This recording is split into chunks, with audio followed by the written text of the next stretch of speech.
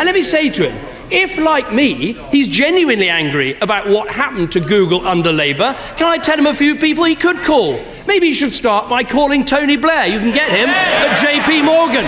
Call Gordon Brown. Apparently, you can get him at a Californian bond dealer called PIMCO. He could call Alistair Darling. I think he's at Morgan Stanley, but it's hard to keep up. Those are the people to blame for Google not paying their taxes.